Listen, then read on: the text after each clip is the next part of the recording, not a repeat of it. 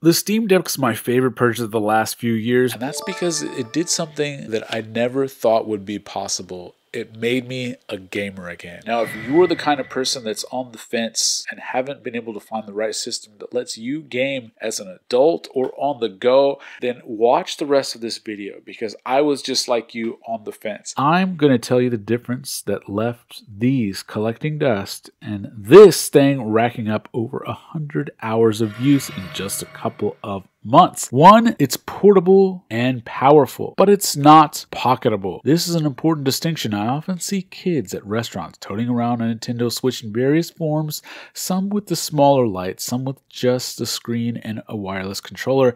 I think that if that is your ultimate goal, then the Switch is a better option. I don't feel like it is any more or less durable per se, but just because the Steam Deck is larger, heavier, and just doesn't do as well in these situations. Size is not always a bug, but sometimes it's a feature. Comfortable because your wrist can stay straight and support the weight properly. I noticed that when playing on the couch or in bed, even though the Steam Deck is larger, wider, and heavier, it hurt my hands and wrists far less than the Nintendo Switch. I ultimately found it's because Nintendo Switch being smaller while you're playing it above your stomach laying down, you have to angle your wrists inward. This creates an uncomfortable load on your wrists, supporting any weight for extended periods. The Steam Deck allows that angle to stay straight, making it much more comfortable for hours. It would start to hurt my hands. Then let's not even mention the game selection.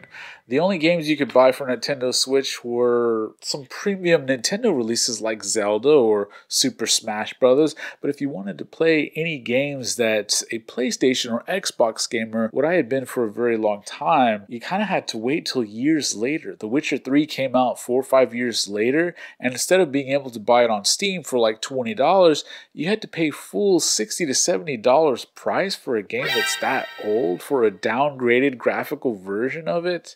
Disappointed!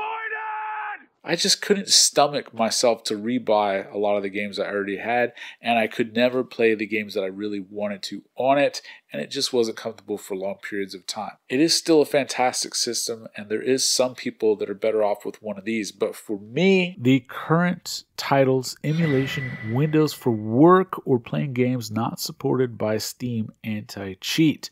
That means that there are a few instances that a Steam Deck, Steam OS just won't get it done. The biggest title for me was Modern Warfare 2 Call of Duty. As you can see, you can install full Windows on this thing onto the SD card slot. I have a 512 gigabyte SD card in here and that holds everything I need. All the other games that require Windows anti-cheat and best of all, I can run my favorite drone racing simulator. This is the Velocidrone drone simulator that runs on Windows on the Steam Deck. Windows is so easy to install. There's several videos that teach you how to do it in just a few minutes. And then you can run games like this. This $20 drone simulator is what nearly every drone racer in the world uses to practice. Today's video is brought to you by Major League Drone Racing, the future of live sports entertainment. Drone racing turns flying drones into a competitive sport. Major League Drone Racing. Now, a lot of drone racers out there can't necessarily afford to upgrade or purchase a new gaming PC, but they may be able to afford $400. Similarly, if you just need a basic PC in order to be able to do homework, you could use this along with a keyboard and monitor. I have a cheap setup that I got from Five Below, and now I can do all the gaming stuff that I would need. Plus, I have a computer desktop solution that's also portable. You get where I'm going with this, guys. Now, Steam sells a dock, but I recommend this cheap one, Dockteck. It's a lot cheaper. It has three USB ports and HDMI to go to your monitor. What's up, Doc? Speaking of monitors, a cheap dock allows you to go from the screen's native 60 hertz all the way up to 100 hertz, meaning that for many games you can get 100 FPS. This was key because I like to also use this as a portable training tool for my drone racing hobby.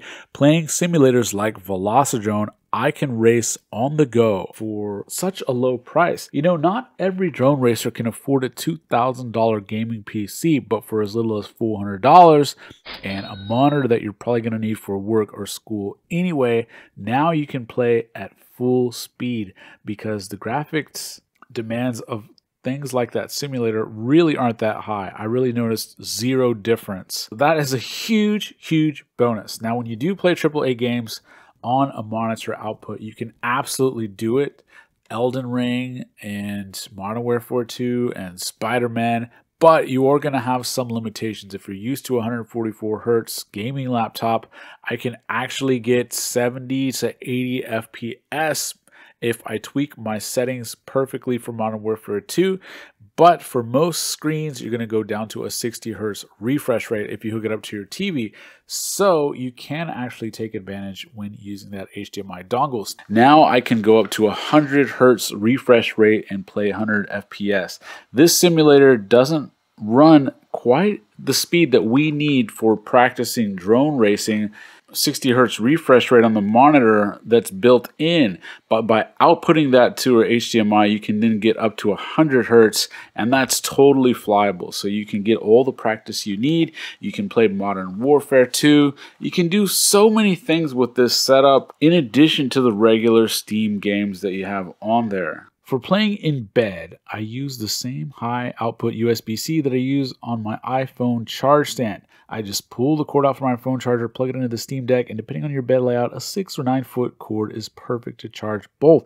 That way I don't have a ton of charging accessories on my bedside table. I just need the one cord to be able to charge my iPhone with the little charge stand my AirPods, or my Steam Deck. So easy and clutter free. Speaking of AirPods, they pair perfectly with the Steam Deck, unlike my Gen 1 Nintendo Switch that can only use hardwired headphones. What a bummer. I also use my premium Xbox Elite 2 controller for playing games wirelessly when I want to hook this up to a monitor. The lower entry model is only $400. That's the one I recommend most people get because you can easily upgrade the 64 gigabyte storage inside the 512 for only about 55 bucks. Don't pay an extra $200 for the pre-installed 512 gigabyte. Just swap your own in and you'll save yourself 150 bucks off the top right away. If you're into 3D printing, there's a plethora of printed accessories, stands, and mounts that you can cook up. I've printed a few myself, which are quite nice whenever I'm gaming in the living room. I grew up a gamer, like most of us, and life over the years, hobbies, work just got in the way. I tried different ways. The Nintendo Switch, which barely had me gaming again, other handhelds, even getting an Alienware gaming laptop. But while all these could play games, having the hardware in your home or even in your hands won't actually get you to play the games. I still remember the almost indescribable joy going to the mall with my dad on my birthday so many years ago and getting this thing, the original Nintendo Game Boy. It seemed quite large to my child hands at the time, but look how portable it seems now, even next to a modern day cell phone. Yes, it is a bit thick, but that's all the rage these days in certain things. And look how close in size it is to a phone. Trying to recapture some of that magic is what prompted me to get the Nintendo Switch a couple of years ago. And while that did allow me to play about 30 ish hours on this fantastic Zelda Breath of the Wild game, after that, it just didn't get used. It collected dust. Then let's not even mention the game selection. The only games you could buy for Nintendo Switch were some premium Nintendo releases like Zelda or Super Smash Bros. But if you wanted to play any games that a PlayStation or Xbox gamer, what I had been for a very long time, you kind of had to wait till years later. The Witcher 3 came out four or five years later, and instead of being able to buy it on Steam for like $20, you had to pay full 60 to $70 price for a game that's that old for a downgraded graphical version of it. I just couldn't stomach myself to rebuy a lot of the games I already had, and I could never play the games that I really wanted to on it, and it just wasn't comfortable for long periods of time. It is still a fantastic system, and there is some people that are better off with one of these, but for me, I'd been searching for a couple years trying to find a PlayStation 5, not really working my hardest. Yes, I would go to Best Buy every chance I got and look and find that they had none. And there were avenues if you were willing to work hard enough to get one. But part of why I didn't do that extra effort was because I knew for certain that if I got one, it would just sit on the shelf collecting dust the way my Xbox One has been doing for the last couple of years.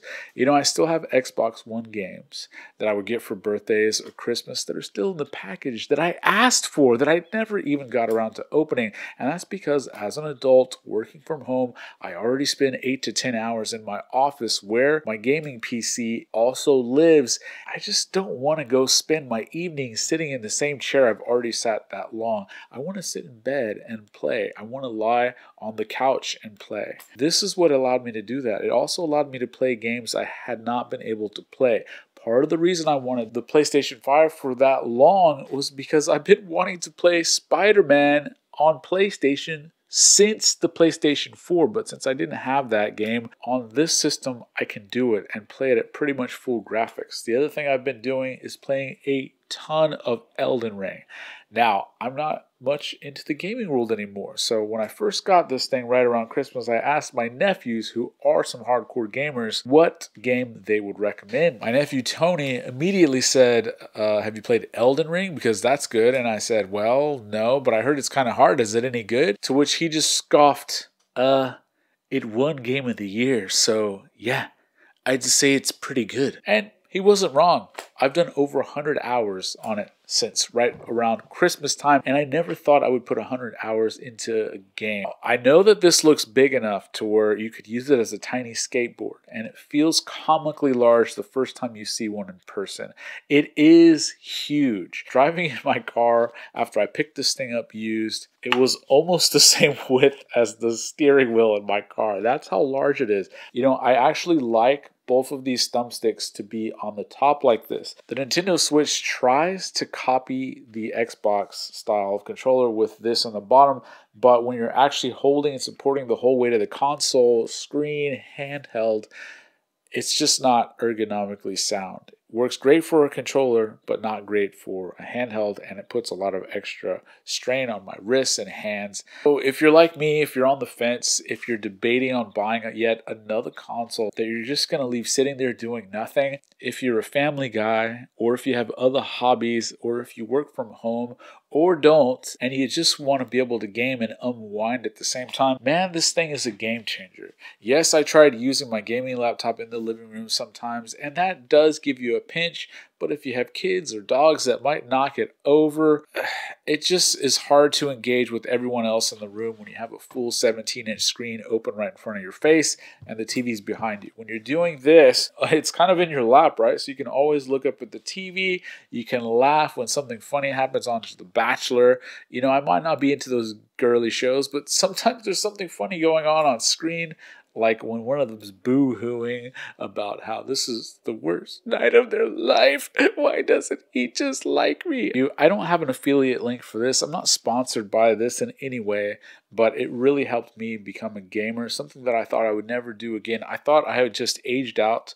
I thought that my hobby of drone racing had just taken the place, and if I was going to use any controller, it was going to be one of these behind me to control a drone, which is great and fun. And it's kind of like playing a game, but it gets you out of the house. But you know what? There are hundreds of billions of dollars being spent on the latest video games these days. And to not be able to have the time or the right mechanism to participate then in that media is just a shame. You know, some of these games are so fantastic. Have you seen the Last of Us series? That started off with a game and the game story is very close to the series story. Without something like this, you won't be able to play those or experience those. And being able to use it on a plane, being able to use it sitting in a hotel, waiting for my next meeting to start, being able to take it when I have to go kill time to run an errand and I just have to sit there and wait rather than scrolling on the same few Facebook stories of people in your neighborhood complaining about their other neighbors you could be getting some AAA gaming going on and kill that time in a more productive manner that still lets your mind decompress. That was the thing though. I would work all day YouTube all night and I was just grinding my brain into mush. I needed a way to unplug a little bit, and this was it. The answer has been in front of me my entire life. Playing video games is something that isn't a waste of time. It's a way to recharge your batteries by discharging the batteries in this thing. I don't care what a lot of people say, it's a valuable thing that helps me unplug for a little bit by plugging into this. Who would have thought, guys? Drone racing turns flying drones into a competitive sport. Major League Drone Racing.